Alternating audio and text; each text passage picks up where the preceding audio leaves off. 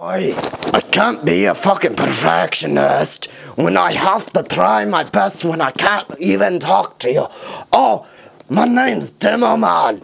I can't believe that all this shit's happening. You can't be really serious about taking all of this shit and going to the fucking battlefield. What do you take me for? I really can't be doing any of this. Ah, I need a fucking drink. You gotta be letting me drink once in a great while. I hope my voice is a little bit better.